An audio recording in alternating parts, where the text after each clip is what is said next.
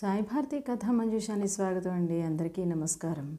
మంచి మంచి కథలకై తప్పక నా ఛానల్ని లైక్ చేసి సబ్స్క్రైబ్ చేసి షేర్ చేస్తారని భావిస్తూ తోక పీకుడుగాడు అనే కథని నేను మీకు ఇప్పుడు వినిపించబోతున్నాను. అనగా అనగా ఒక ఊళ్ళో వెంకయ్య అనే రెడ్డి ఉన్నాడు. అతనికి బర్రెలు ఆవులు ఎడ్లు కోడెలు దాదాపు రెండు వందల దాకా ఉన్నాయి. వాటిలో కోడదూడ ఒకటి భలే బాగా ఉంటుంది. ఆ ఊళ్ళో ఒక దొంగ దాన్ని కాజేయాలని ఎన్నాళ్ళ నుంచో ఎదురు చూస్తున్నాడు ఆనాడు ఎవ్వరికీ తెలియకుండా కొట్టంలోకి వెళ్ళి దూలం మీద దాక్కున్నాడు. ఆ ఊరికి దగ్గరలో ఒక చిన్న అడవి ఉంది. దాంట్లో ఒక పెద్ద పులి ఉన్నది. ఆ పెద్ద పులికి ఆ రోజున ఆహారం లేక ఒక కోడెదూడనైనా పట్టుకు తిందామని చీకటి పడ్డాక ఆ చావిట్లో ఒక ప్రక్క పడుకొని ఉంది. బాగా చీకటి పడి అందరూ నిద్రపోయాక దొంగవాడు దూలం మీద నుంచి కిందకు దిగాడు.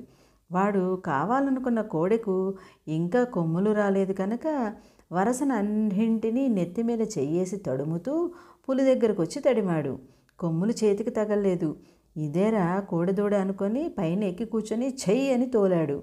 పులి గాబరా పడింది ఆ పులికి గిలి అంటే భయం. తన మీద ఎక్కింది గిలి అనుకొని భయపడి పరిగెత్తటం మొదలుపెట్టింది. తిన్నగా అరణ్యంలోకి దారి తీసింది.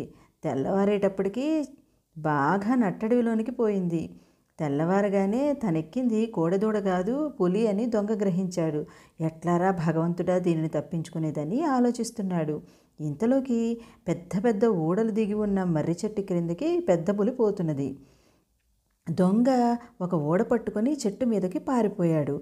తన మీద ఉన్న గిలిపోయింది కదా అని పులి పరుగెత్తుకుంటూ పోయింది. దారిలో పెద్ద పులికి ఎలుగుబంటి ఎదురై ఎక్కడికి పోతున్నావు పులిబావా? అని అడిగింది.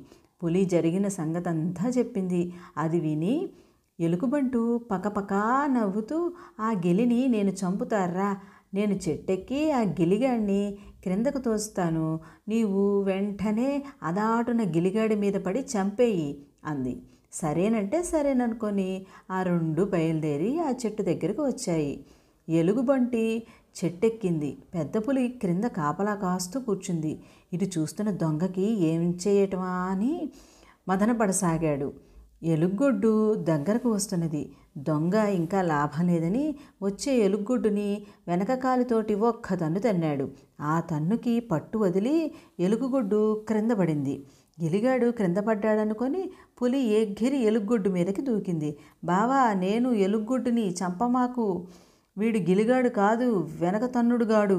ఇక్కడున్నామంటే అన్యాయంగా చంపుతాడు అని పెద్ద పులిని వెంట పెట్టుకొని అక్కడి నుంచి వెనక్కి తిరిగి చూడకుండా ఒక్కటే పరుగు పరిగెత్తుకెళ్ళిపోయింది.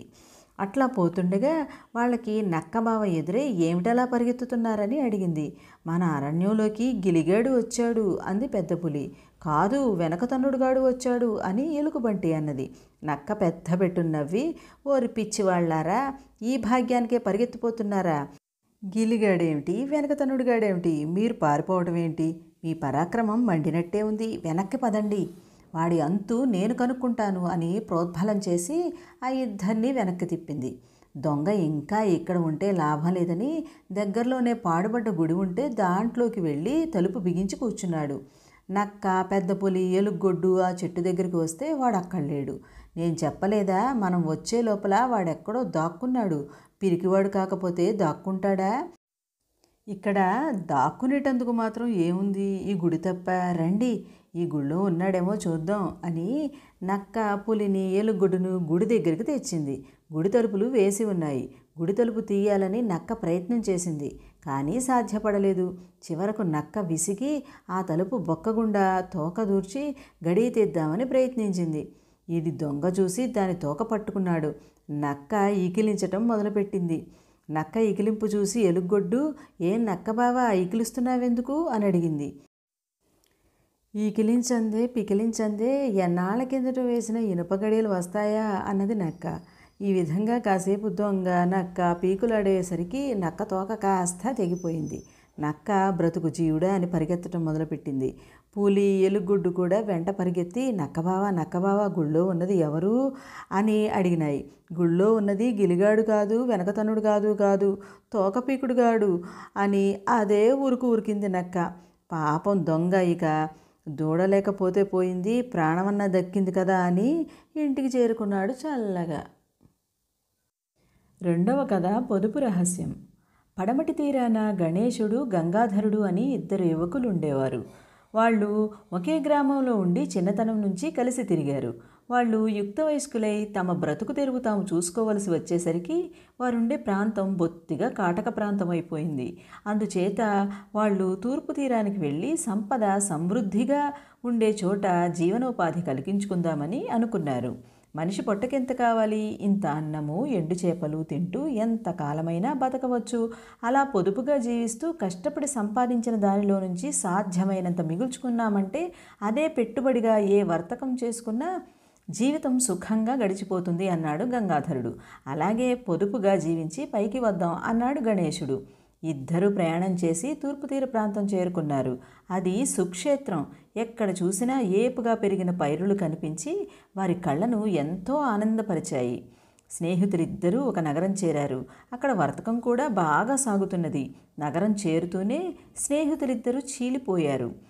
ఒకటి రెండేళ్ళ పాటు ఎవరి కృషి వారే చేసుకోవటము ఎవరి అదృష్టాన్ని వారే వెతుక్కోవటము ఒకరి బరువు ఒకరి మీద వేయకుండా ఉండటము మంచిదని వారికి అనిపించింది. గణేశుడు దొరికిన పని ఏదైనా చేసి రోజు పొడుగునా శ్రమపడి డబ్బు సంపాదించసాగాడు. గంగాధరుడు చెప్పినట్టే అతను వరి అన్నము ఎండు చేపలు తింటూ సాధ్యమైనంత తక్కువ ఖర్చుతో కాలక్షేపం చేస్తూ వచ్చాడు. కానీ గణేశుడు ఎంతో కాలం ఇలా చేయలేకపోయాడు. ముఖ్యంగా అతనికి తిండి గురించి అసంతృప్తి ఏర్పడింది. దగ్గర డబ్బు ఉండగా నోరు కట్టేసుకోవటం అతనికి సాధ్యం కాలేదు. అంచేత ఒకనాడు అతను కోడిని కొని వండుకొని తిన్నాడు. దాంతో అతనికి ప్రాణం లేచి వచ్చినట్టయింది. సుఖంగా తినటానికి కాపోతే ఎంతో శరీర కష్టం చేసి డబ్బు సంపాదించినందుకు ఫలితం ఏమిటి? అయినా ఒక వంక తాను పొదుపు నియమాన్ని ఉల్లంఘించినందుకు మనస్సు బాధపడింది. అంచేత అతను మళ్ళీ కొన్నాళ్ళు అన్నము ఎండు చేపలు తింటూ గడిపాడు. కానీ అది భోజనంలాగానే లేదు. కోడి రుచి అనుక్షణము జ్ఞాపకం వచ్చేది. చివరకు గణేశుడి జిహ్వ చాపల్యమే గెలిచింది. అతను తన దగ్గర ఉన్నదంతా రుచిగా తినటానికి ఖర్చు చేయసాగాడు. తిండి సుఖంతో మిగుల్చుకున్న డబ్బంతా అయిపోవటం అలా ఉంచి అతనికి పనికి ఒళ్ళు వంగకుండా పోయింది. దీని ఫలితంగా అతను అన్నము ఎండు చేపలు కొనటానికి కూడా తగినంత సంపాదించుకోలేని స్థితికి వచ్చేశాడు.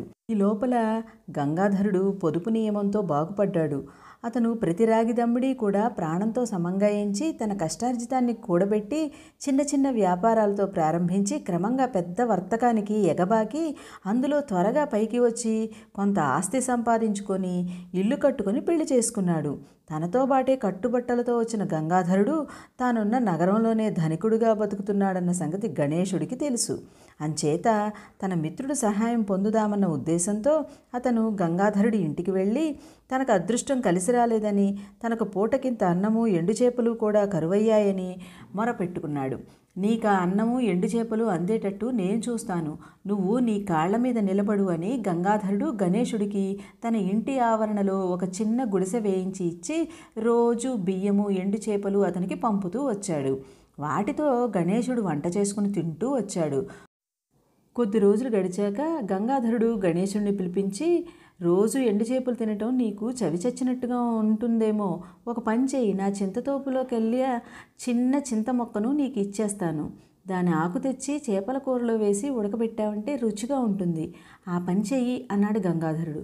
గణేశుడు తన మిత్రుడి చింతతోపుకు వెళ్ళి అక్కడ ఉన్న మొక్కలలో చిన్న దాని నుంచి ఆకు దూసుకువచ్చి చేపల కూరలో వేశాడు.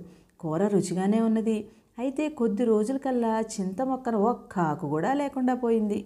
గణేశుడు తన మిత్రుడి వద్దకు వెళ్ళి మరొక చింత చెట్టు నుంచి ఆకు కోయటానికి అనుమతి కోరాడు. ఈసారి ఉన్న చెట్లన్నింటిలోకి పెద్ద చెట్టు నుంచి ఆకు కోసుకో అన్నాడు గంగాధరుడు. మళ్ళీ కొన్నాళ్ళు గడిచాయి. గంగాధరుడు గణేశుని పిలిచి నువ్వు కోసుకునే చెట్టున చింతాకు అయిపోలేదు కదా అన్నాడు. నేను రోజుకు గుప్పెడు ఆకు కోస్తే ఆ చెట్టున మర్నాటికి రెండు గుప్పెళ్ళ చిగురు పుట్టుకొస్తుంది అన్నాడు గణేశుడు.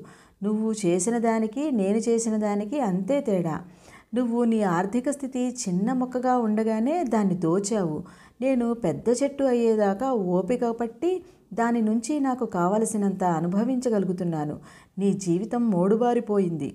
నా జీవితం మూడు పూలు ఆరు కాయలుగా ఉన్నది అన్నాడు గంగాధరుడు. అవును ఇక నేను నీ మీద ఆధారపడక మళ్ళీ జీవితం ప్రారంభిస్తాను అని గణేశుడు తన స్నేహితుడు చెప్పిన నీతిని అమలు చేయటానికి పూనుకున్నాడు.